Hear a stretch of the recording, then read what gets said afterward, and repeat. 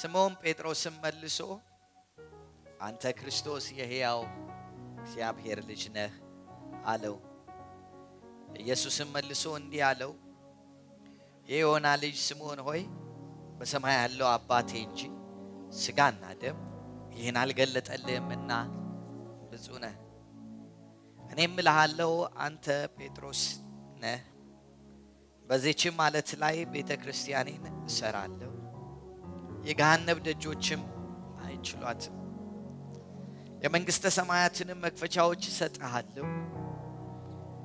በምድር የምታስረው ሁሉ በሰማይ የታሰረ ይሆናል፣ በምድር የምትፈታው ሁሉ በሰማያት የተፈታ ይሆናል። ዛሬም የምናገረው ንግግር ስለ ቸርች ነው፣ ስለ ቤተ ክርስቲያን ነው እና ለብዙዎቻችን ቤተ ክርስቲያን ማን እንደሆነች መጽሐፍ ቅዱስ ቤተ ክርስቲያንን ምን እንደሚላት እኛን ማለት ነው ምን እንደሚለን ማን እንደሆንን ምን እንደታየልን እንድንመለከት ስለምፈልግ ኢየሱስ ክርስቶስ ጥያቄ ጠይቋቸው ነው ይሄንን መልስ የሰጡት። የሰውን ልጅ ወይም እኔን ሰዎች ማን ነህ ይሉኛል።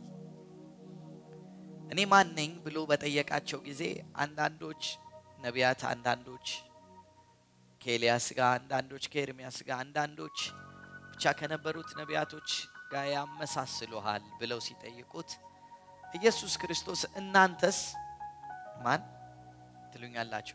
ጥያቄው እናንተ ማን ትሉኛላችሁ እንጂ ሰዎች ምን ይሉኛል አይደለም። ዛሬም ለኛ ጥያቄው በነፍስ ወከፍ አንቺ፣ አንተ፣ እኔ ማን እንለዋለን? በቀን ውስጥ በትንሹ ከ24 ሰዓት ውስጥ 16 ሰዓት አካባቢ አብሯቸው እየቆየ ነው። ሲተዋወቃቸው የተዋወቃቸው ሰላም ያላቸውና ደቀ መዛሙርቱን የተዋወቀበት ቀን ስሜ ኢየሱስ ይባላል ከእንዲህ አይነት ቸርች ነኝ ብሎ አይደለም። ኢየሱስ እኮ ሲተዋወቃቸው የተዋወቃቸው እኮ ውሃን ወይን ጠጅ አድርጎ ሲተዋወቃቸው እኮ የተዋወቃቸው እነ ጴጥሮስ አሳ ማጥመድ አቅቷቸው አንድ ጊዜ ለትንሽ ጊዜ እናንተን ጀልባ ልጠቀምበት ብሎ ከዛ በኋላ በዚህ በኩል ጣሉ ብሏቸው normal እኮ ሰው አይደለም የተዋወቃቸው። ገና ሲተዋወቃቸው እኮ እንደኔና እንደናንተ የአባቱን ስም ምናምን ነግሮ ሳይሆን miracle አድርጎ ነው። ገና ወደ ኢየሱስ መጥተው ሲግባቡት የተግባቡት ኢየሱስን በ miracle ነው። እንዲህ አይነት ትውውቅ ብትተዋወቁ ከሰው ጋር ስለ ሰውየው ምን ትላላችሁ? ኢየሱስ አጠገብ መሆን ማለት miracle አጠገብ መሆን ማለት ማለት ኢየሱስ አልፎ አልፎ አይደለም ተአምር ያደርግ የነበረው። ኢየሱስ በሽተኛ ካገኘ በሽተኛ ይፈውሳል። ኢየሱስ ሙታን ካገኘ ሙታን ያስነሳል። ኢየሱስ ክርስቶስ የሆነ ነገር ካገኘ በዛ ነገር ላይ miracle ያደርጋል። ኢየሱስ ጋር መኖር ማለት normally miracle ጋር መኖር ማለት ነው። ማለት 24 ሰዓት ኢየሱስ predictable አይደለም። ኢየሱስ ክርስቶስ ይበላል ሲባል ሌላ ተአምር ያደርጋል። ይተኛል ሲባል ውሃ ላይ ይሄዳል። ኖራችሁ ኖራችሁ ኖራችሁ የሆነ ቀን ላይ ታውቁኛላችሁ ሲላችሁ ምንድን የሚሰማችሁ? ታውቁኛላችሁ ወይ ሲላቸው ሰዎች እንዴት ነው የሚያውቁኝ ሲላቸው ሰዎች የሚያውቁማ ስታደርግ እንዳዩህ ነው ብለው ነገሩት። እናንተስ እንዴት ነው የምታውቁኝ ሲላቸው እነሱም ለካ የሚያውቁት ሲያደርግ ያየውን አይተው ነው። Even ራሱ ጴጥሮስ እንኳን ያነበብኩላቸው አንተ የህያው እግዚአብሔር ልጅ ነህ ብሎ እንኳን የመለሰለት ሰውዬ የራሱን አይደለም የመለሰው፣ አፉን ተጠቅሞ አባቱን የመለሰው። እኔ አሁን ዛሬ ላሳያችሁ የምፈልገው ምንድን ነው መሰላችሁ? ምንም ያህል ከኢየሱስ ጋር መቆየት ኢየሱስን አይገልጠውም። አባት የገለጠለት ብቻ ነው የሚገልጥለት። ምንም ያህል ጴንጤ መሆን፣ ምን ያህል church ውስጥ መቆየት፣ ምንም ያህል መዝሙር ማወቅ፣ ምንም ያህል ጸሎት መጸለይ፣ ምንም ያህል ነገር ማድረግ ኢየሱስ ክርስቶስን ማወቅ አያስችልም። ኢየሱስ ክርስቶስን ማወቅ የሚያስችለው ራሱ አብ አብ ከገለጠለት በቀር አደል ያለ አብ ሊገልጥልን ይገባል። ማለት ለዚህ ይመስለኛል እኮ አስር ዓመት አብረውን አምልከው አስራ አንደኛ ዓመት ትተውን ይሄዳሉ። አስራ አምስት ዓመት አብረውን አምልከው ለካ ማምለክ እሱን ማወቅ አይደለም። መዝሙሮችን ማጥናት፣ መጽሐፍ ቅዱስን ማወቅ፣ even የመጽሐፍ ቅዱስ አስተማሪ ሆኖ ዲግሪ ይዞ ማስተርስ ይዞ መጽሐፍ ቅዱስን ማስተማር ራሱ እሱን ማወቅ አይደለም። እሱን ማወቅ normally በዚህ በዚህ መልክ አይገኝም። እርሱን ማወቅ የሚገኘው አብ ሲገልጥለት። ለዚህ ነው እኮ አንድ ቀን ኢየሱስ እንደዚህ አለ፣ ወደ ሰማይ አየና ሐሴት አድርጎ አባት ወይ ከታላላቆች ሰውረህ ለነዚህ ትንንሾች ስለገለጥክላቸው አለ። ለካ መገለጥ የኑሮ ስታተስ ታይቶ የሚሰጥ ትልቅ ለአንቱ የሚደረግ አይደለም። መገለጥ አብ ለወደደው ነው። ከምንሰበሰበው ከቁጥራችን ይልቅ መገለጥ ያገኙ ሰዎቻችን እንዲጨምሩ ምኑ ምኑ ምኑ ምኑ ስለደመቀ የሚመጣ ብዙ ህዝብ አለ። መገለጥ አግኝቶ ግን የሚከተል ምግቡ በልተውት ጠጥተውት ሳያወራርዱት ስጋዬን ያልበላ ደሜን ያልጠጣ ሲላቸው ብዙዎች ምን አሉ ይላል? ተመለሱ ዞር አለና እናንተስ መሄድ ትፈልጋላችሁ ወይ ሲላቸው መገለጥ የደረሰው ሰው አሁንም ደግሞ እንዲህ አለ አንተ የህይወት ከአንተ ወዴት እንሄዳለን? ምን ማለት ነው? ከምንበላው እንጀራ ይልቅ የህይወት ቃል ይበልጥብናል ያበላህን ባይኖርም እንከተልሃለን ነው ምንም ያህል የቸርች አባል ብትሆኑና ምንም ያህል አስራት ብታወጡ ምንም ያህል ብትጸልዩ ምንም ያህል ነገር ብታደርጉ መገለጥ ካልመጣ ክርስቶስን ማወቅ አይቻልም። አሁን ይወላችሁ በዚህ አይነት መገለጥ ውስጥ የተገኘውን ኢየሱስን የዮና ልጅ ስምዖን እኔ ያውቃለሁ አንተን እኮ ነው ያለው። አንተ normally እኔን ልታውቀኝ አትችልም። በውሃም ላይ ተራምዶ ለካ ሰው ክርስቶስን አያውቀውም። አጠገባቸው ያለውን ሰው ተአምራት ክርስቶስን አያሳየም በሉት። እያወራው ያለውት ኢየሱስ ጌታ እንደሆነ ተአምራት መመስከር ይችላል። አንተ ግን ጌታ ነው ማለት የምትችለው ተአምራትን አይታ አይደለም። ይህን ያህል ጊዜ ቆይቶ ሊገባቸው አልቻለም። ከነቢያት ብርቱ በስራና በቃል ብርቱ የነበረ እስራኤልን ይቤዣል ብለን ተስፋ እናደርገው የነበረ እንጂ እሱ ግን የሚፈልገው ነቢያት ከነቢያት እንደ አንዱ እንድትረዱት አይደለም። የሚፈልገው የህያው እግዚአብሔር ልጅ ኤማውስ መሄድ ያለበት እኮ ምክንያት እኮ የህያው እግዚአብሔር ልጅ መሆኑን ሊያሳያቸው እንጂ እንደ ነቢይማ ያውቁታል። ያችን ሴት ቆሞ እባክሽ ውሃ ጠጭኝ ብሎ ውሃ ስታጠጣው ኢየሱስ ክርስቶስን ከመጀመሪያ ንግግሯ አንተ ወንድ ስትሆን እኔ ሴት ከመሆን፣ አንተ አይሁዳዊ ስትሆን እኔ ሰማያዊ ከመሆን፣ አንተ እንደዚህ እያለች አባቶቻችን እዚህ ሰገዱ እናንተ እዛ ሰገዳችሁ እንዲህ እያለች ስታነጋግረው ኢየሱስ ክርስቶስ ትዕግስት ወስዶ አብሯት ያወራው ከኖርማል ወንድነት ወደ መሲህነት መገለጥ እንድትመጣ ነው። ስትጀምር ወንድ ነህ ብላ ነው የጀመረችው። ስትሄድ ግን መሲሁ ብላ ነው የሄደችው። እግዚአብሔር አሁን ይወላችሁ ከ normal የወንድነት መገለጥ ከ normal አይሁዳዊነት ሰው ከ normal ውሃ ተጋሪ ሰው የራስን ጣሳ አምጣ ከተባለበት ማንነት ወሰዳትና እንስራዋን ጥላ ስትሄድ እንዲህ ያለችው መሲሁ። ወደዚህ አይነት መገለጥ እስክንደርስ እግዚአብሔር አይተወን። ማለት ከ normal ጴንጤነት፣ ከ normal የ church ተመላላሽነት፣ ከ normal ፕሮግራም አዋቂነት፣ ከ normal ዘማሪነት፣ ከ normal የሆነ ህይወት ወተን real እንዲህ የተነካ የተነካካ ሰዎች መሆን መጀመር አለብን። ለእኛ ክርስቶስ ማን ነው? አባትና እናቶቻችን ነግረውን በቃ ያዋጣል ብለው የሰበኩን ጓደኞቻችን ቀዳሚዎቻችን ስለቀደሙን የገባንበት ነው ወይስ ልባችንን ለአንዴና ለመጨረሻ ጊዜ capture ያደረገ መገለጥ ሆኖልን ነው ኢየሱስ? እቺን ሴት እኮ አውርዶ አውርዶ ኢየሱስ እኮ ከ normal ወንድነት ከ normal መገለጥ ስትጨርስ እኮ የጨረሰችው መጨረሻ የደመደመችው እኮ መሲሁ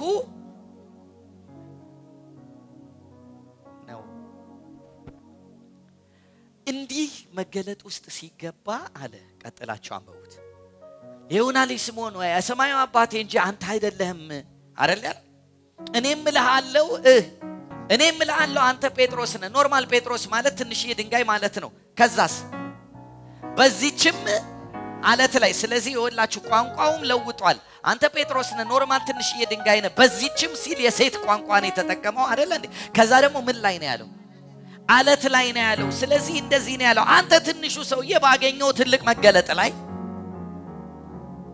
ክርስቶስ ነው ብለህ በተናገርከው ከአብ ዘንድ በተቀበልከው በዚህ መገለጥ ላይ በዚህ አለት ላይ ምን እላለሁ? ቤተ ክርስቲያኔ እሰራለሁ። መገለጡ ላይ ነው። ብዙ ሰዎች ያሉ የቸርቾቻቸውን እኮ የእምነት መግለጫ የሚናገሩ በስጋ የተወለደ ከዛ የሞተ ከዛ የተነሳ ከዛ የሄደ በእርሱ እናምና። ይሄንን ማለት እኮ አይደለም። መሰረቱን የሚያስገኝልን የህይወት አቋም የሚሰጠን እኮ ይሄ አይደለም። ከአብ ከመንፈስ ቅዱስ የመጣ ምን መገለጥ ቤተ ክርስቲያኔንም መሰርታለሁ ካለ በኋላ ምንድን ያለው?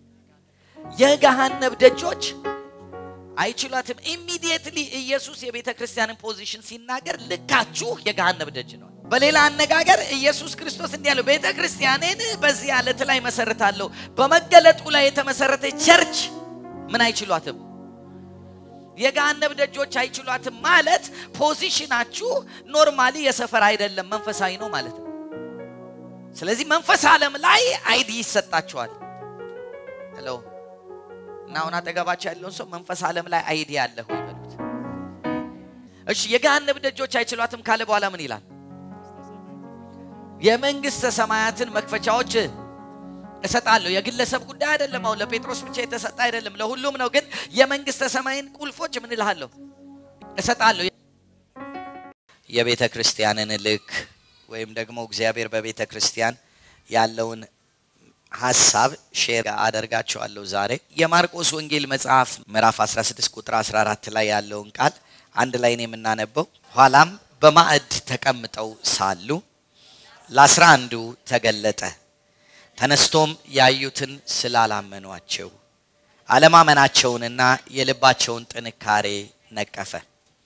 እንዲህም አላቸው፣ ወደ ዓለም ሁሉ ሂዱ ወንጌልንም ለፍጥረት ሁሉ ስበኩ።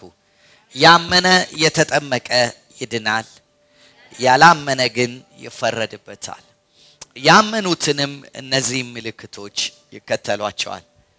በስሜ አጋንንት ያወጣሉ፣ በአዲስ ቋንቋ ይናገራሉ፣ እባቦችን ይይዛሉ፣ የሚገድል ነገር ቢጠጡ አይጎዳቸውም፣ እጃቸውንም በድዌዎች ላይ ይጭናሉ፣ እነርሱም ይድናል። አሜን። ዛሬ ለቤተ ክርስቲያን እግዚአብሔር የሰጠውን ልክ እንመለከታለን። ባለፈው ጊዜ ስለ ቤተ ክርስቲያን አንዳንድ ነገሮች መናገር ጀምረናል። ቤተ ክርስቲያንን ቤተ ክርስቲያን የሚያደርጋትን ነገር ስንመለከት በሐዋርያት ሥራ መጽሐፍ ምዕራፍ ሁለት ላይ officially እግዚአብሔር በምድር ላይ ቤተ ክርስቲያኔን እሰራለሁ ብሎ ኢየሱስ የተናገረውን ንግግር አክብሮ አብ የሰጠውን የተስፋ ቃል መንፈስ ቅዱስን በላከ ጊዜ officially ቤተ ክርስቲያን እንደተጀመረች አማኞች በምድር ላይ እግዚአብሔርን የሚወክሉ አምባሳደሮች ሆነው እንደተገኙ ሐዋርያት ሥራ ምዕራፍ ሁለትን ጠቅሰን ተነጋግረናል። ይህንን የማርቆስ ወንጌል መጽሐፍ ምዕራፍ 16ን እንደያዛችሁ ሳታጠፉት የቤተ ክርስቲያንን ትርጉም የቤተ ክርስቲያንን አንድ ገጽታ ባለፈውም ጊዜ አሳይቻለሁ። ለማስታወስ ያህል ዕብራውያን መጽሐፍ ምዕራፍ 12 ላይ ትሄዱና ቁጥር 18 ላይ አንድ ላይ እናንብበው ቀስ ብለን ሊዳሰስ ወደሚችል ወደሚቃጠልም እሳት ወደ ጭጋግም ወደ ጨለማም ወደ አውሎ ነፋስም ወደ መለከት ድምፅም ወደ ቃሎችም ነገር አልደረሳችሁምና ያንንም ነገር የሰሙት ሌላ ቃል እንዳይጨመርባቸው ለመኑ።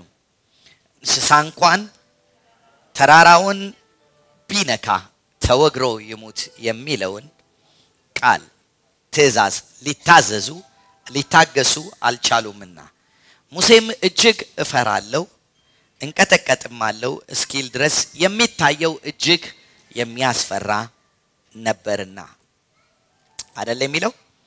ከዛ በኋላ ነገር ግን ብሎ የሚቀጥል አይደል? okay። ስለዚህ ከዚህ በፊት የነበረውን አሁን ሁል ጊዜ እያነሳን ስለምንነጋገረው ብዙ አልቆይበትም። ይሄ ታሪክ ወደ ሲና ተራራ የሚቃጠል የሚዳሰስ የሚጨስ የሚያስፈራ የተባለው የሲና ተራራ ዘጸአት ምዕራፍ 19 ላይ ያለ እስራኤላውያኖች ከግብፅ ከወጡ ከፋሲካው በዓል በሀምሳኛው ቀን ላይ የደረሱበት ቦታ ነው። ያ ቦታ የሲና ተራራ የሚባል ቦታ ነው በምድረ በዳ በኦሪት ዘጸአት ምዕራፍ 19 እና 20 ላይ ታገኙታላችሁ። በዚያ እግዚአብሔር በተራራው ወርዶ ስለነበር ተራራው ይቃጠል ነበረ፣ እጅግም ይጤስ ነበረ፣ የሚያስፈራም ነገር ነበር ይልና ተራራውን የሚነካ እንስሳ እንኳን አይደለም ሰው ምን ይሁን ተብሎ ነበር፣ ይሙት ተብሎ ነበር። በዛ ጊዜ ግን እግዚአብሔር የመጣ ጊዜ እንዲህ ብሎ ነገራቸው፣ ምድር ሁሉ የኔ ናትና አይደል ያለው ምድር ሁሉ የኔ ናትና እናንተም ከአህዛብ መካከል የተመረጠ ህዝብ የምን የንጉስ ካህናት መንግስት ርስቴ ትሆኑልኛላችሁ ብሎ እግዚአብሔር ተናገራቸው። አሁን ተመልከቱ፣ ከአህዛብ መካከል የተመረጠ የመንግስት ምን ካህናት የተለየ ወገን ርስት ትሆኑኛላችሁ ብሎ እግዚአብሔር ለእስራኤላውያኖች ኦሪት ዘጸአት ምዕራፍ 19 ላይ እቤታችሁ ስትሄዱ አንብቡ። ከእስራኤል ከወጡ በስንተኛው ቀን?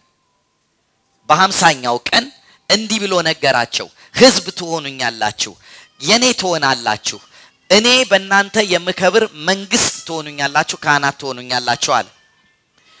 መጽሐፍ ቅዱስ ሌላ ቦታ እንዲህ ብሎ ይነግረናል። እስራኤላውያኖችን እግዚአብሔር እንዲህ አላቸው። አንደኛ ጴጥሮስ መጽሐፍ ምዕራፍ ሁለት ቁጥር ዘጠኝ ላይ ደግሞ ሄዳችሁ ስታነቡ እንዲህ የሚል ቃል ታገኛላችሁ። አሁንም ቤታችሁ ሄዳችሁ ማንበብ ትችላላችሁ፣ ኖት ለምትይዙ። አንደኛ ጴጥሮስ መጽሐፍ ምዕራፍ ሁለት ቁጥር ዘጠኝ ላይ እናንተ ግን ከጨለማ ወደሚደነቅ ብርሃን የጠራችሁን የእርሱም በጎነት እንድትነግሩ የተመረጠ ትውልድ፣ የንጉሥ ካህናት፣ ቅዱስ ሕዝብ፣ ለርስቱ የተለየ ወገን ናችሁ ይላል። አንደኛ ጴጥሮስ መጽሐፍ ምዕራፍ ሁለት ቁጥር ዘጠኝ ላይ ጴጥሮስ ስለ ቤተ ክርስቲያን እያሰበ ስለ አማኞች ሲናገር እናንተ ግን ከጨለማ ወደሚደነቀው ብርሃኑ የጠራችሁን የእርሱም በጎነት እንድትናገሩ የተመረጠ ትውልድ፣ የንጉሥ ካህን፣ ቅዱስ ሕዝብ፣ ለርስቱ የተለየ ወገን ናችሁ ይላል። okay አዲስ ኪዳን ላይ እናንተ እንዲህ ናችሁ ተባለ። እኛን የአዲስ ኪዳን አማኞችን እኔና እናንተን መጽሐፍ ቅዱስ ሲናገር ከየት ወዴት ነው የተጠራ ነው አለ። ከጨለማ ወደሚደነቅ ብርሃን። እስራኤላውያኖችን ደግሞ ከፈርዖን ግዛት ወደ ከነአን፣ ከባርነት ወደ ነፃነት፣ እኛን ከጨለማ ወደሚደነቅ ብርሃን፣ ከሞት ወደ ህይወት። ስለዚህ አሁን ለእስራኤላውያኖች እግዚአብሔር እንደ ጥላ አድርጎ የቤተ ክርስቲያን መንፈሳዊ ጥላ አድርጎ የተጠቀመባቸው ነገር በፋሲካ ደም በመርጨት ሙሴ አንድ በግ ረዱ አላቸውና ከዚህ የተነሳ ከባርነት ወጡ። እኛም ክርስቶስ ታርዶልን ከሞት ወጣን። በፋሲካ እነርሱ ከባርነት ወጥተው በሀምሳኛው ቀን ሲና ተራራ ጋር ሲደርሱ መንግስት ትሆናላችሁ አላቸው። እኔና እናንተ ደግሞ ወይም ደግሞ ቤተ ክርስቲያንን ደግሞ ከክርስቶስ ኢየሱስ ሞትና ትንሣኤ በኋላ በበዓለ ሃምሳ ቀን በበዓለ ሃምሳ ቀን ሐዋርያት ሥራ ምዕራፍ ሁለት ላይ መንፈስ ቅዱስ ወርዶ የእግዚአብሔርን መንግስት ጀመረ።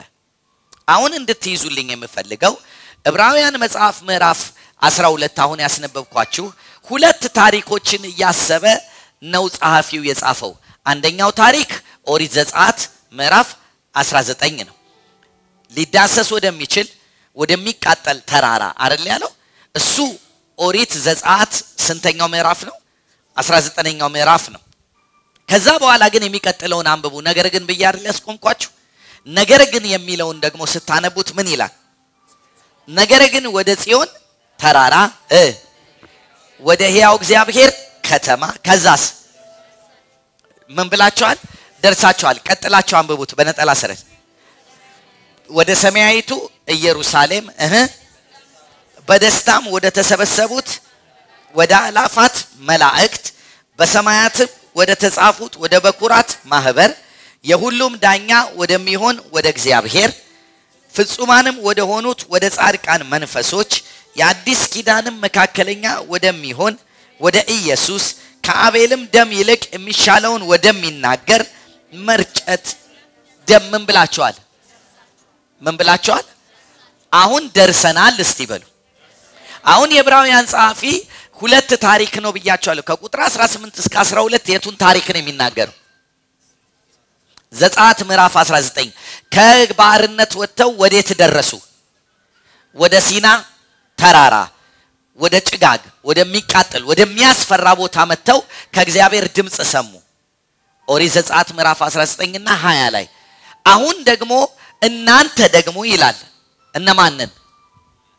አማኞችን እናንተ ደግሞ የሚለው ኢየሱስ ክርስቶስ ከመረጣቸው ከአስራ ሁለቱ ሐዋርያት ዘመን ጀምሮ መቶ ሀያዎቹን ጨምሮ ከዛ በኋላ ያሉትን ቅዱሳኖች ደግሞ እያሰበ እናንተ ግን ወዴት ደርሳችኋል ነው የሚለው። ወደ ጽዮን ተራራ በደንብ አንብቡልኝ። ወደማ ወደማ ወደ ጽዮን ተራራ ከዛስ? ወደ ሕያው እግዚአብሔር ከተማ ከዛስ? ወደ ሰማያዊቱ ኢየሩሳሌም ከዛስ? በደስታ ወደ ተሰበሰቡት እልፍ አእላፍ መላእክት ከዛስ? በሰማያት ወደ ተጻፉ ወደ በኩራት ማህበር ከዛስ? የሁሉም ዳኛ ወደሚሆን ወደ እግዚአብሔር ከዛስ?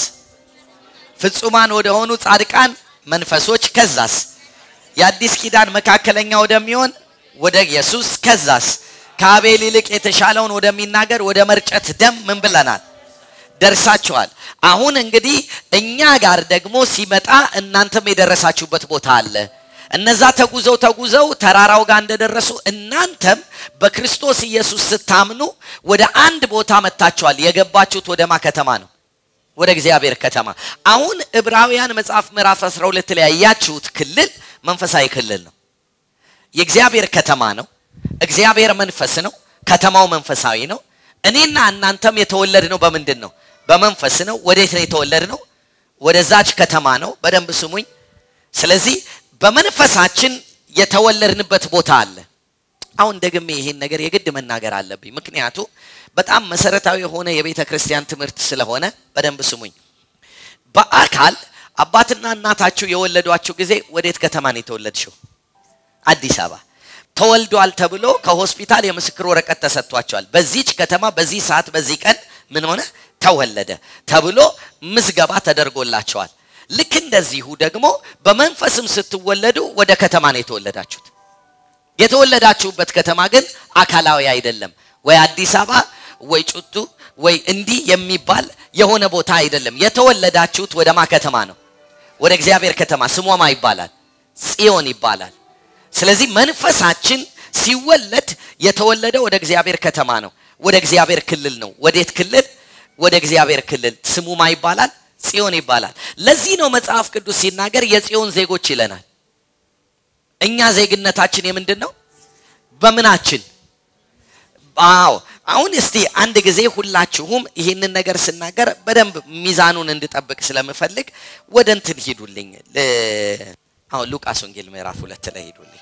ሰው ሁሉ ይመዝገብ ተብሎ የተጻፈበት ሉቃስ ወንጌል ምዕራፍ ሁለት ቁጥር አንድ ላይ በዚያም ወራት ዓለሙ ሁሉ እንዲጻፍ የሚል የለም። ዓለሙ ሁሉ እንዲጻፍ ከአውግስጦስ ቄሳር ትእዛዝ ወጣች አይደል የሚለው። ቁጥር ሶስትን አንብቡት። ሁሉም እያንዳንዱ ይጻፍ ዘንድ ወደ ከተማው እያንዳንዱ ይጻፍ ዘንድ ወዴት ሄደ? ወደ ከተማው ሄደ ይልና ከዛ የሚቀጥለውን አንብቡ። ዮሴፍም ደግሞ ከዳዊት ቤትና ወገን ስለነበረ ከገሊላ ከናዝሬት ከተማ ተነስቶ ወደ ቤተልሔም ወደምትባል ወደ ዳዊት ከተማ ወደ ይሁዳ ጸንሳ ከነበረችው ከእጮኛው ከማጋ ከማርያም ጋር ይጻፍ ዘንድ አሁን ተመልከቱ። ማርያምም ልትጻፍ ወጥታለች አይደለ? okay። ማንን ይዛ? አይ ማንን ጸንሳ? ስለዚህ ኢየሱስም ተጽፏላ። ኢየሱስም ሊጻፍ ሄዷል። ስለዚህ አሁን ተመልከቱ። ማርያም ማንን ልትወልድ ነው? የመውለጃዋ ወራት ደርሶ ስለነበር ልትጻፍ ሄደች። ልትጻፍ በሄደችበት ወረፋ እየጠበቀች የሕዝብ ቆጠራ መካከል ማ ተወለደ? ኢየሱስ ተወለደ። ኢየሱስም ሲወለድ ሊመዘገብ ነው። በዘመኑ አወራር ኢየሱስም ምን ነበረው? ID ነበረው፣ birth certificate ነበረው። ግን ኢየሱስ እንደ ሰው ሲወለድ የተወለደው ከተማ ቤተልሔም ውስጥ ነው። የተገኘበት ቦታ ስሙን ተጽፎለታል። ከዛ ግን አሁን በደንብ እንድትሰሙ እፈልጋለሁ። ይሄው ልጅ ተወለደ። መኖሪያ ወይም መቀመጫ ቦታ ስላልነበራቸው በከብቶች ግርግም አይደል የሚለው ወለደችው። በዛ ምን አደረገችው ይላል ጠቅልላ አስቀመጠችው ይልና ይሄ ልጅ ተወልዶ ምዕራፍ ይቅርታ ቁጥር ስምንት ላይ ግን በዚያም መንጋ እየጠበቁ ያደሩ እረኞች ነበሩ። በሌሊትም የእግዚአብሔር መልአክ መጣ፣ ድንገትም የእግዚአብሔር ክብር በዙሪያቸው አበራ። ከዛ በኋላ እንዲህ አላቸው። ምንድን ነው ያላቸው? አቤት እነሆ ለሕዝብ ሁሉ የሚሆን ታላቅ ደስታ የምስራች ምን ብሎ እነግራቸዋለሁ ዛሬ በዳዊት ከተማ መድኃኒት እርሱም ክርስቶስ ምን ብሏል? አሁን ተመልከቱ። በማ ከተማ ማናት? ያቺ ከተማ ቤተልሔም። ማ ተወለደባት? አሁን የወላችሁ መድኃኒት የሆነ ማ መድኃኒት የሆነ አንብቡት፣ ክርስቶስ ጌታም ይላል። አሁን ተመልከቱ። normally ማርያም እና ዮሴፍ በሚያያቸው በፍጥረታዊ ሰው የወለዱት ምንድን ነው? ሕፃን ነው። በመለኮት ደግሞ አቆጣጠር የተወለደው ምንድን ነው? ጌታም ክርስቶስም ነው። ሁለትዮሽ ማንነት አለው። በከተማም ይኸውላችሁ በምድርም ተመዝግቧል፣ በመንፈሳዊ ዓለምም ተመዝግቧል። በ normal ኡ ምድራዊ አመዘጋገብ የማና የማ ልጅ ሆነው በዳዊት ከተማ የዮሴፍና የማርያም ልጅ፣ በእግዚአብሔር ከተማ ግን ክርስቶስ ጌታ። ተግባባን? ስለዚህ even ኢየሱስ እንኳን ሁለትዮሽ ID ነበረው። አንደኛው የምድር ነው፣ ሁለተኛውስ የመንፈስ ዓለም ነው። አሁን አጠገባቸው ያለውን ሰው በየትኛው ID ነው የምትጠቀመው ነው? ሁለት ID አለን። ክብር ለኢየሱስ ይሁን። አንደኛው ID ያችን ምድር ላይ የተሰጠን ID ነው። ሁለተኛው ID ያችን ከመንፈስ ዓለም የተሰጠን ነው። ተግባባን? አሁን እንደዚህ እንድታስቡ ፈልጋለሁ። ኢየሱስን እንደ ሞዴል አድርጌ ያመጣሁበት ምክንያት ስላለኝ ነው። ኢየሱስ በሁለት ID ነበር የሚኖረው። በምድር ላይ እና አውግስጦስ ቄሳር ምን ብለውታል? መዝግበውታል። የማና የማ ልጅ ሆነው የዮሴፍና የማርያም ልጅ ተብሎ በየት ከተማ? በዳዊት ከተማ ቤተልሔም። ስለዚህ ኢየሱስ ክርስቶስ normally እንደ ሰው ተመዝግቧል። እንደገና መላእክቶች ደግሞ መጥተው ሲነግሩን ምንድን ያሉት? ይሄ እንደ ሰው የተመዘገበው የዳዊት ከተማ ውስጥ የተመዘገበው የዮሴፍና የማርያም ልጅ ግን ደግሞ ሌላ nature አለው። ክብር ለኢየሱስ ይሁን። ሌላው nature ኡ ምንድን ነው ሲባል እርሱ ክርስቶስም ጌታም ነው። ከዘላለም የነበረ ነው። ወደ ምድር ላይ በተልእኮ የመጣ በመንፈስ ዓለም እውቅና ያለው ጌታ ነው። አሜን። ግን በምን ተከልሏል? በስጋ ተከልሏል። በሚታየው ነገር ውስጥ ነው የሚኖረው። ምን ማለት ነው? እንደ እግዚአብሔር ቃል እንደ ካየነው እንደ ስጋ ከዳዊት የተወለደ እንደ ቅድስና መንፈስ ከሙታን በመነሳት በኃይል የማ ልጅ የተባለ የእግዚአብሔር ልጅ የተባለ እነሆ ድንግል ትጸንሳለች፣ ወንድ ልጅም ትወልዳለች። ከዛስ በኋላ ስሙን ማን ይሉታል? አማኑኤል። ትርጓሜው ምንድን ነው? እግዚአብሔር ከኛ ጋር። ሲያዩት ድንግል የወለደች ወንድ ልጅ ነው፣ ግን መንፈሳዊ ማንነት አለው። በመንፈሱ የተለየ unique የሆነ ነገር አለው። normally የሆነ አዲስ ሁለት dualism ነገር ወይም ደግሞ ሁለት ነገር አዋህዶ የመጣ ነው።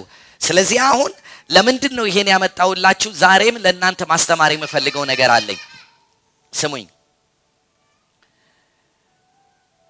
በስጋ ስንወለድ የት ነው የተወለድነው? normal ከተማ ፍጥረታዊ ከተማ ነው የተወለድንበት። ከተማ ምን ሰጥቶናል? birth certificate ሰጥቶናል። ስለዚህ የሚያውቀን በስጋ ከከሌና ከከሌ መወለዳችንን። ልክ ደግሞ እውነት እውነት እልሃለሁ ሰው ዳግመኛ ካልተወለደ በምኑ በመንፈሳዊ ማንነቱ ካልተወለደ ወዴት አይሄድም? ወደ እግዚአብሔር መንግስት ምን አይልም። ስለዚህ አሁን በመንፈስ ደግሞ ስንወለድ ወዴት ነው የተወለድ ነው? ወደ ጴንጤነት ሳይሆን ወደ አዲስ ከተማ ነው። የማ ከተማ ስሙ ማ ይባላል? ጽዮን። ክብር ለኢየሱስ ይሁን። ስለዚህ አሁን በሁለት ቦታ የምንኖር ሰዎች ነን። ይሄንን በደንብ በጣም ሊገባን ይገባል። በሁለት ቦታ የምንኖር ሰዎች ነን። ሁለት የከተማ ምስክር ወረቀት አለን። አንደኛው በፍጥረታዊ አይን በቁሳዊ ዓለም የሚዳሰስና የሚነካው ዓለም ላይ የሰጡን የምስክር ወረቀት ነው። በጣም የሚደንቃችሁ ይሄኛው የምስክር ወረቀት በጣም ቶሎ ስለሚገኝና ስለሚታይ ደግሞ ደግሞ በዛ ስም ስለጠሩን ማነ ሲባል የምንለው እሱን ነው። ቸርች እየመጣችሁ መማር ያለባችሁ ደግሞ ዋነኛው ከተማችሁ መንፈሳዊው ነው። ማነ ስትባሉ መጀመሪያ ማለት ያለባችሁ የእግዚአብሔር ልጅ ነኝ ነው። አሁን ወደዚህ መምጣት አለብን። ለምን ይሄኛው ክልል ይሄኛው ክልል ያንን ያደበዝዘዋል። እሺ አንድ ጊዜ እንድትይዙልኝ እፈልጋለሁ። ኢየሱስን ነው አሁን ዛሬ ሞዴል አድርጌ የማስተምረው በዚህ ነገር። ከዛ ማርቆስ 16 የመደምደሚያ መጸለያ ስለሆነ ነው። አሁን ተመልከቱ። ኢየሱስ ክርስቶስ ሲኖር መጽሐፍ ሲናገር የማ ልጅ ነው? የማ ልጅ ነው? ይኸውላችሁ የእግዚአብሔር ልጅ የሚለውን ነገር እኮ የሰየሙለት በአይናቸው በመገለጥ ያወቁት ናቸው። በሰፈር ግን የማ ልጅ ነው? አሁን በደንብ በደንብ ስሙኝ። በሰፈር የዮሴፍና የማ ልጅ ነው? የማርያም ልጅ ነው። እንደው አንድ የሆነ የተለየ ነገር ሲያደርግ የሰፈር ሰው ሁሉ የሚለው ከየት አመጣው ነው። ምክንያቱም የሚያውቁት የማ ልጅ ነው? የማርያምና የዮሴፍ ልጅ ነው። የሚመለከቱት በቤት ውስጥ ሲያግዛቸው ሲያገለግላቸው የሚያዩት ሁሉ እንደ ማንም ሰው የሚኖረውን ኑሮ ነው። ግን ኢየሱስ ክርስቶስ በሁለት ዓለም በአንድ ጊዜ ይኖር የነበረ አዲስ ነገር ወደ ፍጥረት ይዞ የመጣ የእግዚአብሔር ልጅ ነው። በሌላ አነጋገር ኢየሱስ ክርስቶስ ከሰዎች ጋር አብሮ እየኖረ አብሮ የሚኖርበት ክልል አብሮ እየበላ አብሮ እየጠጣ አብሮ እየተኛ ግን ደግሞ ሌላም ክልል ይኖር ነበር። ለምሳሌ ሰዎች አብረውት እየሄዱ የሆነ ነገር እያደረገ እያለ ምንድን ነው የምታደርገው ብለው ሲጠይቁት አባቴ ሲያደርግ፣ በሌላ አነጋገር አብሮ እየሄደ እሱ ሌላም ዓለም ያያል።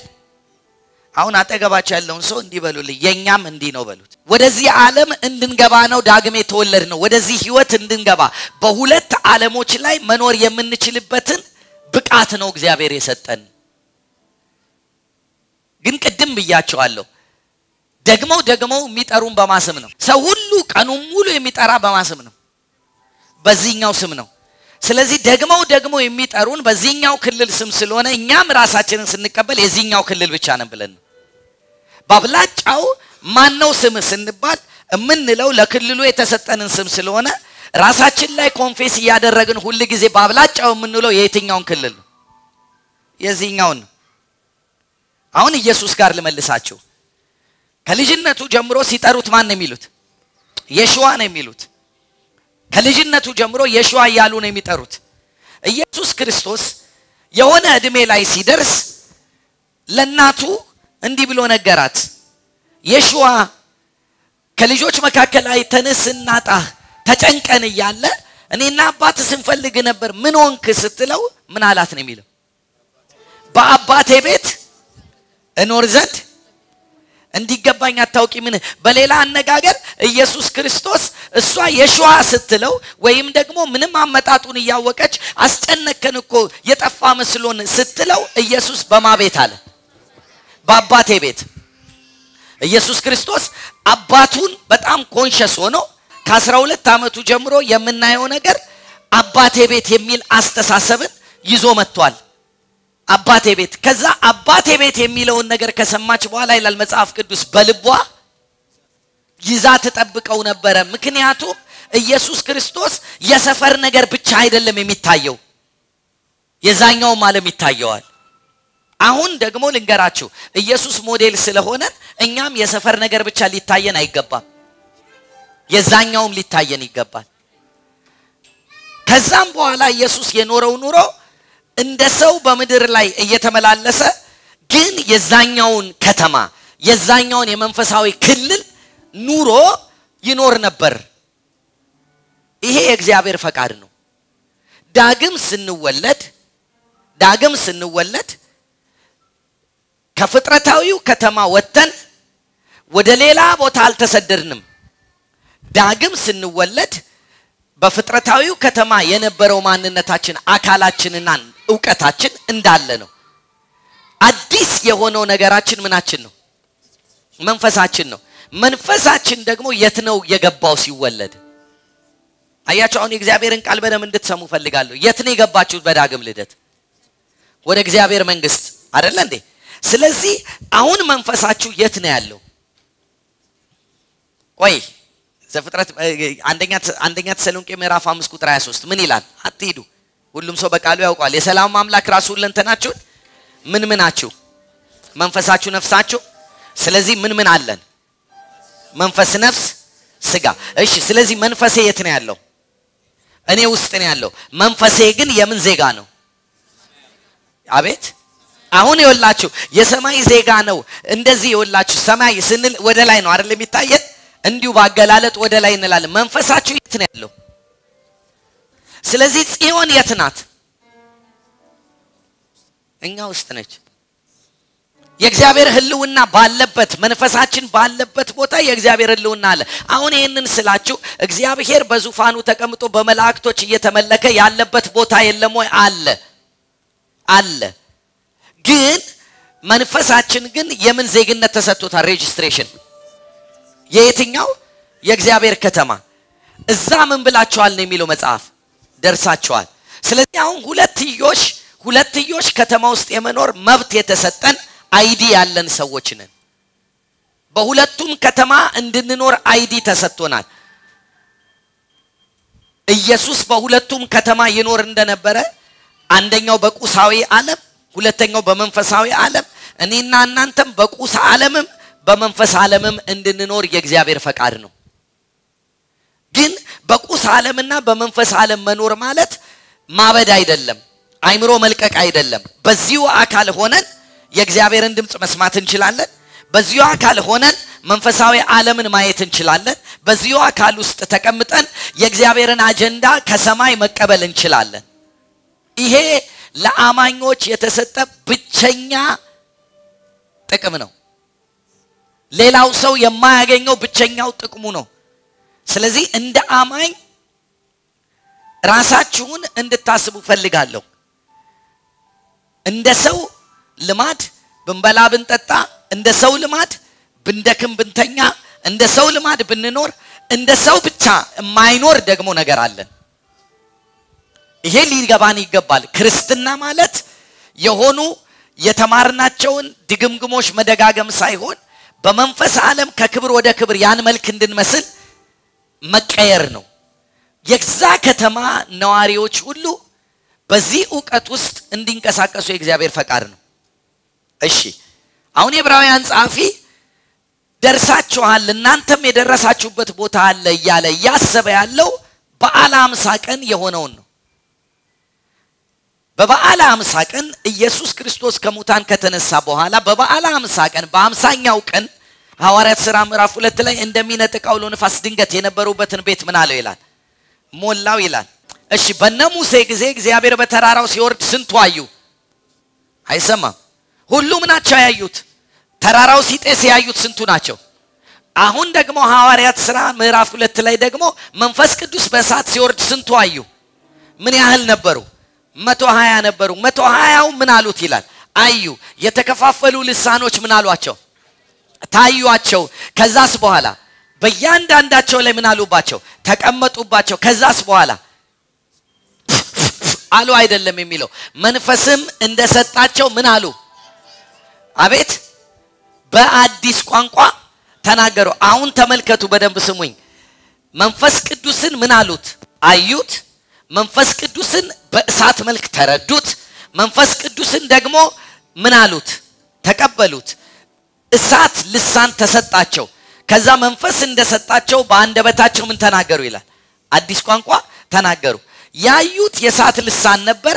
የተናገሩትስ አንድ ላይ እናንበው። አንድ ሁለት ሶስት። በዓለ ሃምሳም የተባለው ቀን በደረሰ ጊዜ ሁሉም በአንድ ልብ ሆነ አብረው ሳሉ ድንገት እንደሚነጥቅ አውሎ ንፋስ ከሰማይ ድምፅ መጣ፣ ተቀምጠው የነበሩበትን ቤት ሞላው። እንደ እሳትም የተከፋፈሉ ልሳኖች ታዩአቸው፣ በእያንዳንዳቸውም ላይ እስቲ በሉልኝ። ከዛስ ምን አደረጉ? ምን ምን ምን አይሰማም። ሁሉም እ መንፈስ ቅዱስ ሞላባቸው። ከዛስ እንደሰጣቸው አሁን ተመልከቱ። ቆይ የታዩአቸው ምንድን ናቸው? መጽሐፋችሁን አንብቡ። በምንድን ነው የታያቸው? የምን የተከፋፈሉ የእሳት ልሳኖች የተናገሩት የተቀመጠባቸውስ መንፈስ ቅዱስም በሁሉ ላይ ምን አለባቸው? ከዛስ ምን ይኸውላችሁ ተመልከቱ። የተከፋፈሉ የእሳት ልሳኖች መጥተው ምን አሉባቸው? ከዛ ምን አሉ? በሌላ ልሳኖች ምን አሉ? እሺ የተቀመጠባቸው ምንድን ነው? እሺ ከዛስ የተናገሩት ምንድን ነው? እሳቱን በልሳን መጸለይ የጴንጤዎች ቋንቋ ሳይሆን እሳት ተፊዎች ብቻ ዜጎች ብቻ የሚያመጡት ነገር ነው። አሁን በደንብ ስሙኝ። አሁን በደንብ እንድትሰሙኝ የምፈልገው ነገር ስላለኝ ነው። ይሄን ትምህርት ከልሳን መጸለይና ከአዲስ ቋንቋ ከመናገር ጋር ላያይዝ የፈለግኩት ለዚህ ቤተ ክርስቲያን እግዚአብሔር የሚሰጠው season ስላለ ነው። listen ያዩት የእሳት ልሳን ነው።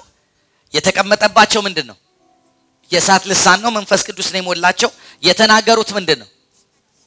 በአዲስ ቋንቋ ነው። ልሳን ነው የሰጣቸው አይደለ እንዴ? እግዚአብሔር አዲስ ቋንቋ ሰጣቸው። ምንድን ነው ያዩት? እሳት። እሳቱ ምን አለባቸው? ተቀመጠባቸው። እነሱ ምን አደረጉ? ተናገሩ። ቆይ አሁን በደንብ ስሙኝ። እሳት ተቀምጦባችሁ እሳቱ ሲቀመጥ በልሳን መልክ መጥቶ አንደበታችሁ ውስጥ ሲገባና ቋንቋ ሲሰጣችሁ የምትናገሩት አዲሱ ቋንቋ እሳት ነው ማለት ነው። okay አሁን በደንብ ያዙልኝ። እንዲህ እንደ ንግግር እንዲህ ብዬ ተናግሬያለሁ፣ ወደፊትም እናገራለሁ። በአካል ከአባት ከእናት ስትወለዱ የምትናገሩት ቋንቋ የማንን ነው? የእናት የአባት ነው። ከአማራ የተወለደ ምን ይናገራል? ከኦሮሞ የተወለደ ኦሮሜ፣ ከትግሬ የተወለደ ትግርኛ። ስለዚህ ከተወለዳችሁበት ክልል የሆነ ቋንቋ እንደምትካፈሉ ወደ እግዚአብሔርም ክልል ስትገቡ የእሱን ቋንቋ ትካፈላላችሁ። ስለዚህ በልሳን መናገር የከተማዋ ቋንቋ ነው። የተወለድንበት የክልል ቋንቋ ነው። ክብር ለእግዚአብሔር ይሆን። ስለዚህ አሁን የክልላችን ቋንቋ ምን ይባላል? በልዩ ልሳን መናገር። አሁን ይኸውላችሁ በተፈጥሮ በተፈጥሮ ገኒ የተወለደችበትን ከተማ ቋንቋ ስትናገር አማርኛ አማርኛን የምትናገር ጊዜ የሚያስፈልጋት ነገር carbon dioxide ነው የምትተፋው። እዚህኛው ክልል የተወለደ ሰው በልሳን መናገር ሲጀምር የሚተፋው ግን እሳትን። ምክንያቱም by nature በልሳን መጸለይ ማለት የመንፈስ ቅዱስ ቋንቋ ስለሆነ እንደ መጽሐፉ ትምህርት normal አይደለም፣ እሳት ነው። ከኔ ጋር ናችሁ? በልሳን እንጸልያለን ስትባሉ እንጸልይ ስትባሉ በጣም እስቲ ቆይ እስቲ እስቲ አሁን ይሄ ነገር ግን ተገቢ ነው በጉባኤ መጸለይ ምናምን አትበሉ። ልሳን ትፉ እየተባላችሁ ማለት እኮ እሳት ትፉ ነው። ህይወታችሁ የሚስተካከለው በልሳናችሁ በጸለያችሁት እንጂ ካርቦን ዳይኦክሳይድ በተፋችሁት ልክ አይደለም። እኔ ድሮ በጣም የማይሆን ስህተት ሰርቻለሁ ትምህርት ቤት። ፈተናው ምንድን ነበረ? እሳት በመጣ ጊዜ እሳት ለማጥፋት የሚያስፈልግ ኬሚካል ምንድን ነው የሚል ነው እና ምርጫው ሀ ሃይድሮጅን፣ ለ ኦክስጅን፣ ሐመር ውሃ ካርቦን ዳይኦክሳይድ የሚል አለ። ከዛ እኔ በጣም አሰብኩትና እሳትን ለማጥፋት የሚያስፈልግ ነገር ቢሆን ኦክስጅን ነው ብዬ ለኦክስጅን አልኩኝ። ለካ ኦክስጅን እና ሃይድሮጅን እሳትን ለማባባስ በጣም ወሳኝ የሆኑ ነገሮች ናቸው። መልሱ ምንድን ነበር? ካርቦን ዳይኦክሳይድ ነው። ካርቦን ዳይኦክሳይድ ባይ እሳት ያጠፋል። hello፣ አሁን ምላችሁ ነገር ትንቢት ይሁንባችሁ። አማርኛ ስታወሩ የምተፉት ምንድን ነው? እሳት የሚያጠፋ ስንፍና። አሁን ሁላችንም እንነጋገራለን። በልሳን የምጸልዩ ሰዎች ሁሉ እኔ አሁን የምነግራችሁን ነገር በልሳን በሉ። ወዮልኝ፣ በልሳን የለም የለም። በልሳን በልሳን ፈልጉ ፈልጉ ፈልጉ። ወዮልኝ የሚል ቃል የለም የለም። እኔ እንጃልኝ የሚል ቃል ልሳን ላይ የለም የለም። አልችልም የሚል ቃል የለም። ካርቦን ዳይኦክሳይድ እሳት ያጠፋል አላልኳቸው? እዚሁ ነው። እንችላለን ሲባል ቁጭ ብለን እኔ እንኳን የምችል አይመስለኝ ካርቦን ዳይኦክሳይድ ግን እንችላለን የሚልን ቃል ስትሰሙ በልሳን ስሜታችሁ ባይነግራችሁም እችላለሁ እያላችሁ እያሰባችሁ መናገር ስትጀምሩ የሚያስችል አቅም ይለቀቃል። ምን እያልኳችሁ ነው? እኔ አሁን እንዲገባችሁ ነው። እሳት ማጥፊያ ካርቦን ዳይኦክሳይድ ነው። እንደው እንደው አሁን ምሳሌን ተጠቀሙና ይሄ ከአባት ከእናት የወረስነው ቃል በአብላጫው በአብላጫው ካልተጠነቀቅን የህይወትን ሩጫ የሚያቃጥል የሚያበላሽ ክፉ ነገር ነው። አንደበትን በምን ልፈውስ ብሎ እግዚአብሔር ሲያስብ በልዩ ልሳን እንደው መጽሐፍ ሲናገር በብልቶች መካከል ትንሽ ሆና አንደበት የፍጥረትን ሩጫ ምን ትላለች? ትበላለች። ስለዚህ አንደበታችን የማይሆን ነገር እንዳያወጣ፣ አንደበታችን ስንፍናን እንዳይናገር እግዚአብሔር ያለው እድል መቶ ሀያዎቹ ላይ መጥቶ መጀመሪያ መቀየር ያለበት ቋንቋን ነው። ስሙኝ፣ በልሳን መናገር ማለት ለአንድ አማኝ indispensable የሆነ በምንም የማይተካ የእግዚአብሔር አቅም መገለጫ መንገዱ ነው። ስለዚህ እዚህ ቤት ውስጥ ያላችሁ ሁሉ በልሳን መናገር የግድ አለባቸው። አጠገባችሁ ያለውን ሰው ተወልደ ከሆነ የግድ ትጸልያለህ በሉት። ለምን መሰላችሁ? የተወለደ ልጅ የሚፈልገውን ነገር ለማግኘት ሲፈልግ የሚጠቀመው ምኑን ነው? እሺ፣ ወዲያው እንደተወለደ ልጅ አያወራም አይደለ እንዴ? okay። ስለማያወራ የሚፈልገውን ነገር የሚገልጥበት ቋንቋ ስለሌለው በለቅሶ ነው የሚገልጠው። አማኝም እስኪገባው ድረስ ከእግዚአብሔር የሚያስለቅቀው በለቅሶ ነው።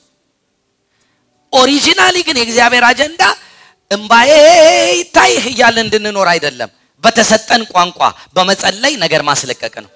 አያችሁ፣ እግዚአብሔር እሪ ብላችሁ የጮሃችሁና ያለቀሳችሁለት በእንባ የሚመጣ ይመስላች ለ baby ይመጣል። baby ሆነን ባለንበት spiritually ህፃን ሆነን ባለንበት ወራት እንባ አይቶ እግዚአብሔር መጥቶ መልስ ሊሰጥ ይችላል።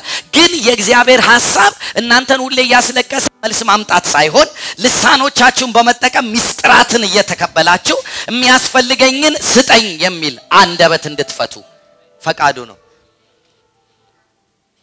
የማናችንም የምድር ልጆች የስጋ ልጆቻችን ባደጉበት ዘመን መናገር በማይችሉበት ሰዓት የሚፈልጉትን በለቅሶ በጩኸት አስለቅቀዋል። መናገር ከጀመሩ በኋላ ግን መርገፍገፍ አቁመው የሚፈልጉትን አባዬ ይሄን እንፈልጋለን ዳዲ ብለው የሚፈልጉትን ይናገራሉ። በልሳን መጸለይና በልሳን ራሱን ማሳደግ የጀመረ አማኝ እንዲሁ ነው። እግዚአብሔር ጋር ገብቶ የሚፈልገውን ነገር ቀጥታ ያለ ከልካይ ያሰማል።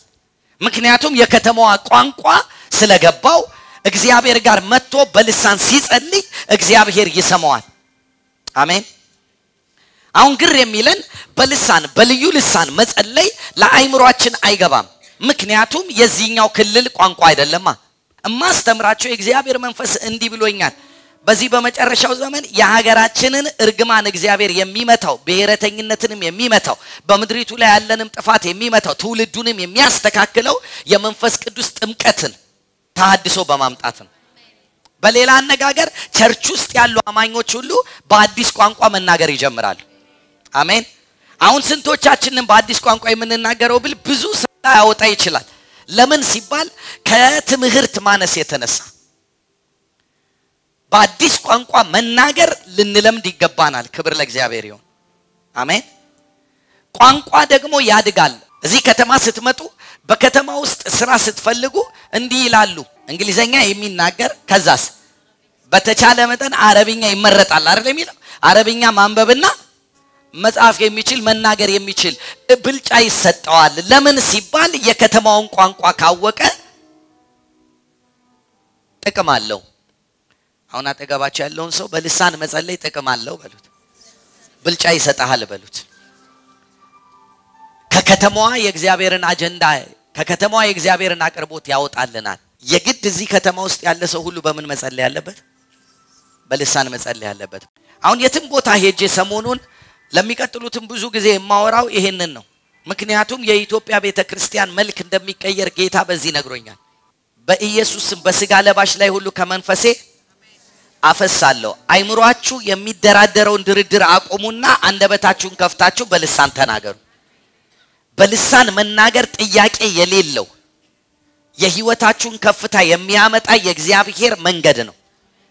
የመጀመሪያ በቃ እግዚአብሔር favor አደረገላቸው ለመቶ ሀያዎቹ ወረደባቸውና በላንተ ዘጠኝ የጸጋ ስጦታ ምናምን አይደለም ያለው። ቋንቋ ቀይሬልሃለሁ ቋንቋ ቀይሬልሃለሁ ቋንቋ ቀይር ወዮልኝ እንዳትል፣ አልችልም እንዳትል፣ እሸነፋለሁና እኔ እንጃ እንዳትል፣ ስንፍና እንዳታወራ፣ ያለህ የቤት የሰፈር ቋንቋ ወደማይሆን መንገድ እንዳይመራህ ቋንቋ ቀይሬልሃለሁ። you have to speak in tongues። በልሳን መናገር ያለምንም ጥያቄ የልጆች መብት ነው። የተወለዱ ሁሉ መናገር አለባቸው። ደግሞ ባለቤቱ ይሰጣቸዋል። ክብር ለኢየሱስ ይሁን። መንፈስ ቅዱስ ይሰጣቸዋል። እመኑኝ፣ አትጨነቁ። ከአማራ ቤተሰብ ተወልዶ አማርኛ መናገር እንደሚቀል ልክ እንዲሁ ከጌታም የተወለደ የጌታን ቋንቋ መናገር ቀላል ነው። ኢየሱስ ጌታ ነው። አሁን ግን ማርቆስ 16 ላይ እንደዚህ ይላል፣ ሂዱ ለፍጥረት ሁሉ ወንጌልን ስበኩ። ከዛስ ያመነ የተጠመቀ ይድናል፣ ያላመነ ደግሞ ምን ይሆናል? ይፈረድበታል ካለ በኋላ ያመኑትንም እነዚህ ምልክቶች ምን ይሏቸዋል? ይከተሏቸዋል። ምን ያደርጋሉ አለ? በስሜ አጋንንት ያወጣሉ። ከዛስ? በአዲስ ቋንቋ ይናገራሉ። ከዛስ? እባቦችን ይይዛሉ። የሚገድልም ነገር ቢጠጡ ምን አይሆንም? አይጎዳቸውም። ከዛስ? እጃቸውንም በድዌዎች ላይ ይጭናሉ። እነማንን የሚከተሉት? ስንቶቹን? እነማንን የሚከተሉት? ያመኑትን። ስለዚህ አራት ነገር እንድጽፉልኝ እፈልጋለሁ። እግዚአብሔር በሚመጡት ሲዝኖች በሚመጡት ወራቶች ለእያንዳንዳችን በነፍስ ወከፍ የሚመልሳቸው የእግዚአብሔር በጎነት መገለጫዎች፣ የመንፈስ ቅዱስ አብሮነት መታያዎች እነዚህ አራት ነገሮች ናቸው። ያመኑትም ምን ይሆናሉ? ያመኑትንም አይደለም የሚለው ወንጌሉን ያመኑ ኢየሱስ ክርስቶስ ከሙታን ተነስቷል ብለው ያመኑትን እነዚህ ምልክቶች ምን ይሏቸዋል? ይከተሏቸዋል። ሰባኪዎችን የሚለው ማንን የሚከተለው? ያመኑትን እንጂ ሰባኪዎችን አይደለም። ማንን የሚከተል? ያመኑትን እነዚህ ምልክቶች ይከተሏቸዋል። በስሜ ምን ይላሉ? አጋንንትን ያወጣሉ። አንደኛ አጋንንት አወጣለሁ ብላችሁ ጻፉ። አጋንንት አወጣለሁ ብላችሁ ጻፉ። ያወጣሉ እንዳትሉ በናዝሬቱ በኢየሱስ። ሁለተኛ በአዲስ ቋንቋ እናገራለሁ። ቶሎ በሉልኝ፣ ልጨርስ ነው። በአዲስ ቋንቋ ይናገራሉ እንዳትሉ ምን እላለሁ? እናገራለሁ። አማኝ ካለ እንደዚህ ብሎ ነው መጻፍ ያለበት። ያመንኩትን አውቃለሁ የሚል ካለ በአዲስ ቋንቋ ምን እላለሁ? አጋንንትንስ? እሺ፣ ሶስተኛ አዎ መርዝ ጠጣለሁ ልትሉ ነው አይደል? አይደለም። ቆይ ቆይ ቆይ ቆይ በደንብ ስሙኝ ስሙኝ። መርዝ እየፈለጉ ይጠጣሉ፣ እባብ እየፈለጉ ይይዛሉ ለማለት አይደለም። የሚጎዳ ነገር ምን አይላቸውም። መለኮታዊ ጤንነት ጥበቃ ውስጥ እገባለሁ በሉ። መለኮታዊ ጥበቃ ውስጥ ምን እላለሁ? እገባለሁ። አንድ ሰው ይሄንን ስናገር ሰምቶ ጥያቄ ጠየቀኝ። እያልክ ያለኸው ግን በቃ መለኮታዊ ጥበቃ ውስጥ እገባለሁ ስትል ክፉ አይመጣም፣ እንዲህ አይመጣም፣ እንዲህ አይመጣም እያልክ ነው? አላልኩም። ክፉ አይመጣም፣ ክፉ ይሆናል፣ እንዲህ እንዲህ አላልኩም። ታዲያ ምንን እያልከን ነው ሲለኝ መለኮታዊ ጥበቃ ውስጥ እገባለሁ። እኔና እናንተ የምንቆጥረው የተገለጡልንን ነው። እግዚአብሔር ሳይገለጥልን የጠበቀን ስንት ጥፋት አለ። እየሰማችኝ ነው? ተገልጠው ከመጡት ይልቅ እኮ በቀኛችንና በአጠገባችን የወደቁት ይበዛሉ። ሄሎ።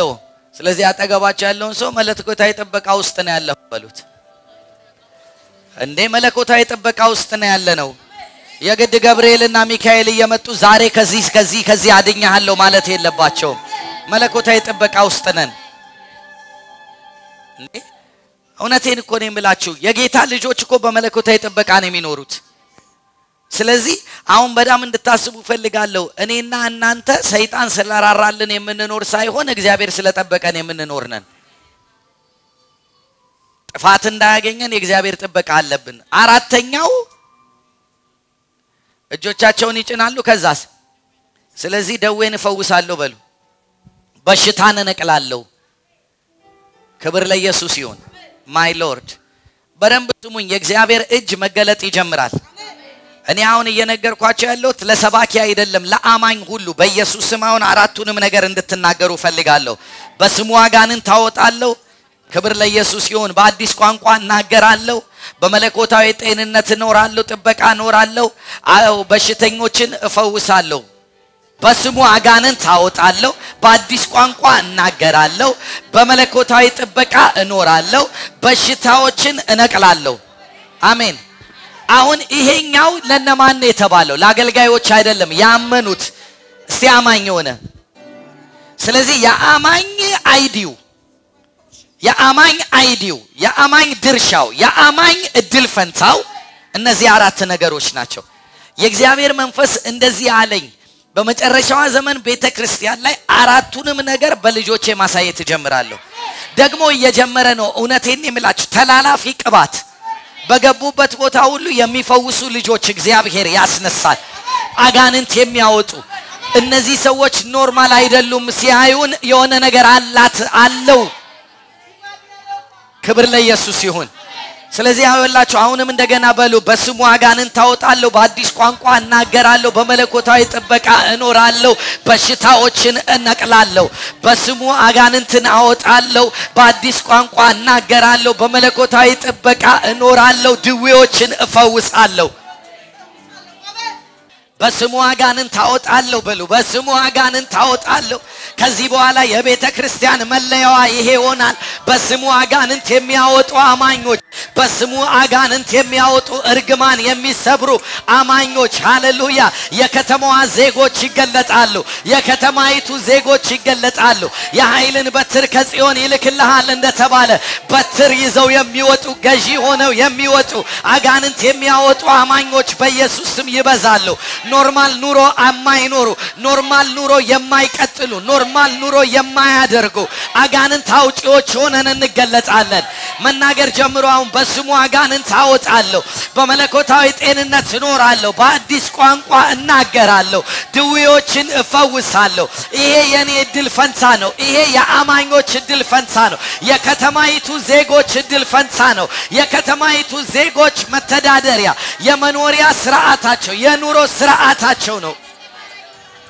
በልሳናው መናገር ጀምሩ። አዲስ ቋንቋ የማጸልዩ በኢየሱስ ስም እግዚአብሔር ይሄን ያደርጋል። ማንታካታዬ በኢየሱስ ስም እጸልያለሁ። አሁን አጋንንቶች ይወጉ፣ አጋንንቶች ይወጉ፣ አጋንንቶች ይወጉ፣ አጋንንቶች ይወጉ። በኢየሱስ ስም አጋንንቶች ይወጉ። በጌታ በኢየሱስ ስም ነፍስን አንቀው የያዙ ነፍስን አንቀው የያዙ አጋንንቶች ይወጉ።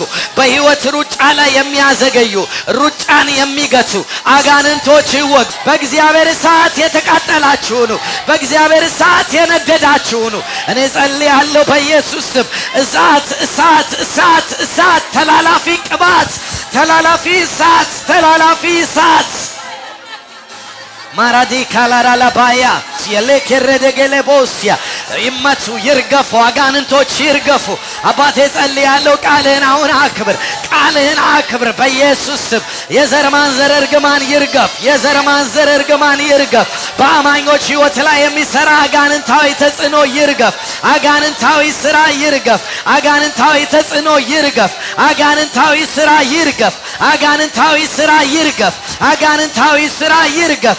በኢየሱስ ስም በኢየሱስ ስም በኢየሱስ በአማኞች ህይወት ላይ የሚመጣ ተጽዕኖ ይርገፍ። ከዘር ማንዘር የሚወርድ እርግማን ይርገፍ።